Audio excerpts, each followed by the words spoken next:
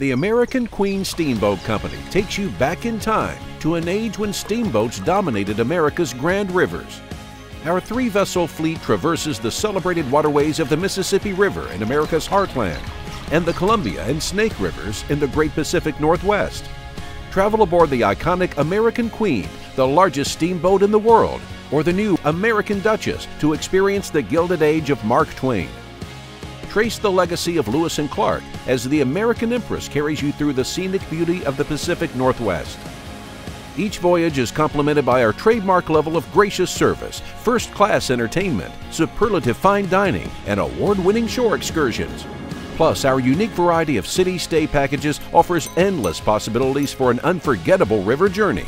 A distinctive blend of the old and the new.